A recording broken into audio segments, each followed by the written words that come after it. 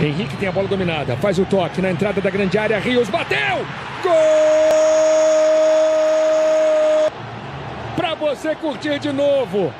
Deu muito espaço Marcelo Benevenuto, soltou a bomba o argentino. Andrés Rios vencendo o gatito.